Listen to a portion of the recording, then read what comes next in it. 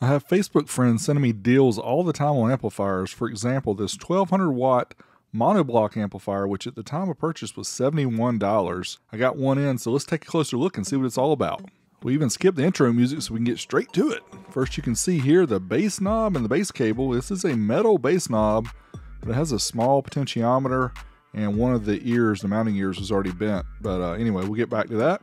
Let's take the amp out of the box, take a closer look. What is this name? Audio Zeroni. That sure don't make much sense, does it? The amp even has silkscreen that says with remote subwoofer level control included. Yeah, there you go. Audio Zeroni.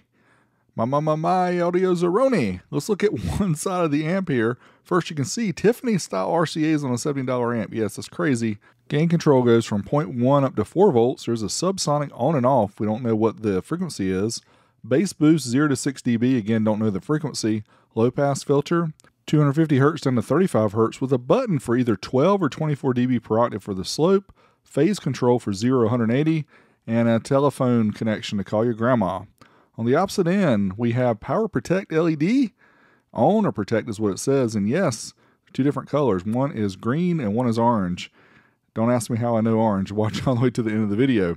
4 gauge for power and ground, also a remote connection and a single speaker output there with 8 gauge connection for hooking up your subwoofer.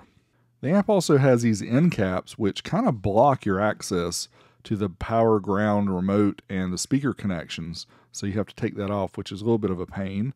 It also includes this bass knob. It is a metal encased bass knob, as I mentioned before, has a phone cord attached to it, and really just a very simple control here for gain when you have it plugged in. So not much to expect from a $71 amp, but hey, at least you do get a bass knob, right? As far as dimensions go, the length is 13 inches, which includes both ends, 5.5 inches for the width, 2 inches for the height, millimeter equivalents are there as well. There is no manual or specs on the box, but according to Amazon, the RMS power and the max power are exactly the same. This is not a Mickey Mouse program! These ratings include 4 ohms 400 watts, 2 ohms 680 watts, 1 ohm 1200 watts. It also says it's linkable, which it's not, linking another amp up. I don't know why they said that. So here we have the amp connected up using 0 gauge to 4 gauge adapters to give us maximum juice. And there we go, we powered up. What you'll notice is it takes about 5 seconds to actually turn green. So it has a very slow turn on. Now, since we don't know what the real ratings are, we're going to find out what the measurements are using the SMD D'Amore Engineering Amplifier Dyno. If you haven't seen this before, on the left, RMS power output in watts. In the middle, the ohm load. On the right, the voltage. We'll also have the remote display so we can calculate efficiency. This here's my favorite part. First test is going to be 4 ohms. It's rated 400 watts. We have some examples here of how you get 4 ohms. You can have a single 2 ohm dual voice coil subwoofer wired in series or you can have two 4 ohm dual voice coil subwoofers wired in series parallel configuration to give you 4 ohms. Let's try certified test first up to 1% distortion and we'll notice the amp stops at 180 and then jumps to 357. So it did not count cleanly so we can't do the efficiency measurement unfortunately for this. Let's try uncertified up to the clipping point. It does count cleanly here. See if we can get that 400 watts. And not quite. 373 at 14.37. Statistically, that's not too bad. It's about 10% off. Um, you know, it's not horrible. It's not great either, but it should do its rated power. But again, we don't know if this is max or whatever, but we're given the true numbers here. Dynamically, sending a pulse tone to the amp, we get 373 at 14.46. Now let's try 2 ohms. It's rated 680 watts. The example here is a 4 ohm dual voice coil subwoofer wired in parallel gives you 2 ohms, or you can do two 2 ohm dual voice coil subwoofers wired in series parallel configuration to get 2 ohms. Again, rated 680 watts, certified test first to 1% distortion. It stopped at 450 and jumped to 626. So again, not cleanly counting using that certified test. Let's go to the uncertified test see what we get here. Up to the clipping point of the amp. If you have any questions about the different modes, I'll leave a link in the video description. You can see what these different modes mean. Uncertified, we get 658, 14.24. So close, but not quite there. What about using the dynamic test. Can we get the 680? Yes, we do. 681, but a little bit higher than 14.4. We have a 14.5 volts. Now the 1 ohm test is rated 1200 watts. Let's try the certified test first, up to 1% distortion. It counts pretty clean here. We're going to give it a, a go 981 at 14.25. That's actually better than I expected. Uncertified to the clipping point, can we bust a thousand watts? Yes, we can. 1057, even our voltage dropped to 14. So almost 1100 watts at 14 volts. What about dynamically? Can we get that 1200 watts? Man, it's getting there. Can we get another boost here?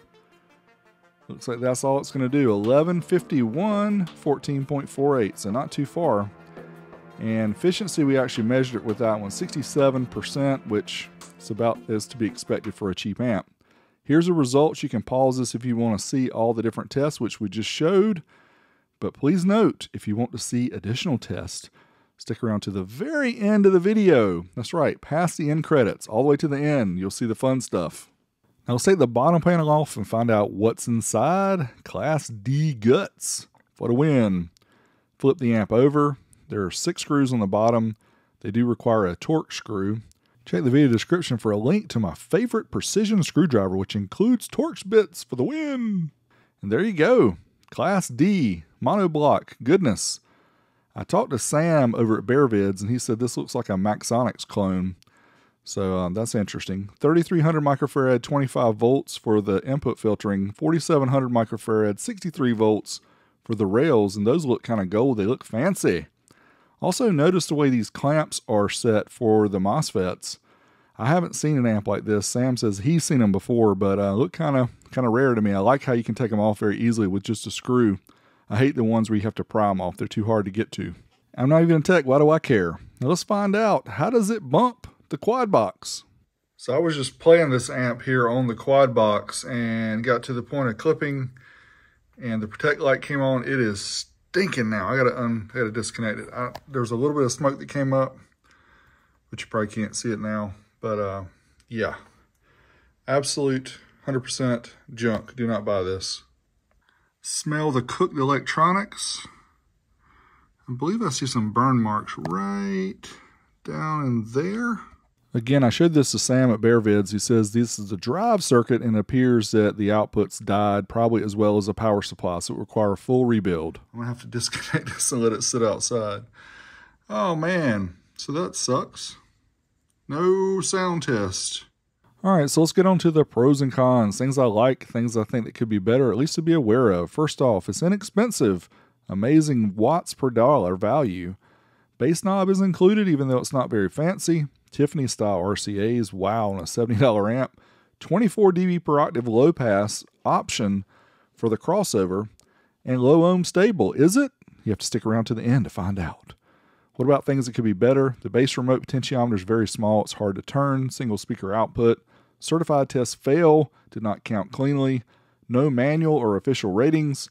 It blew up during the sub test. Unfortunately, I didn't get to show you guys if it bumped though. And is it worth going cheap? That is a good question. Some people think so. I tend to think buy something right the first time and you don't have to keep changing stuff out. I know some people, they live to find these inexpensive amps and hopefully ones that work okay. If you're one of these guys that likes to tinker, likes to spend a little money and play around, then this amp is fine for you. But if you're somebody who likes to install something or have something installed you don't want to have it touched again for a long time, you need to spend more money and get a better quality product. Things like this, it's a, it's a shot in the dark. You don't know if it's going to last or not. So I would personally not recommend this. I'll leave some links in the video descriptions for other amps I think that are better. Thanks as always for watching. Until next time, Big D, I'm out of here.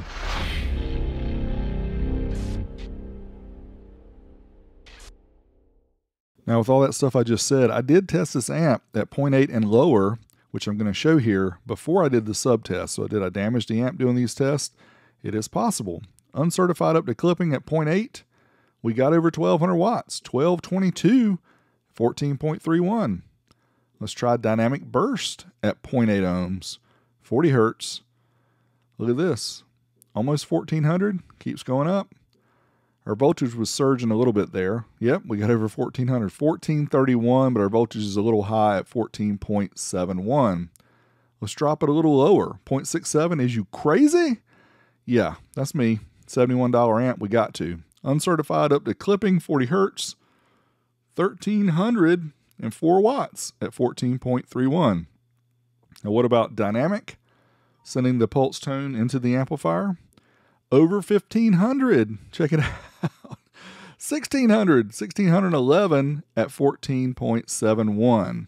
Now let's try half an ohm resistive. Have I lost my mind? You big. Y'all should know now not to expect anything less than a big dummy. Let's try dynamic half an ohm. Look at this, almost 1900 watts, 1879. Did we damage the amp? I don't know. Maybe. It was still fun. Big D out. You know how them sound waves go? Hustle hard, hustle every single day. I'll be making moves till I'm buried in my grave. Uh, to the system, I don't wanna be a slave. I've been doing shit my way. Uh,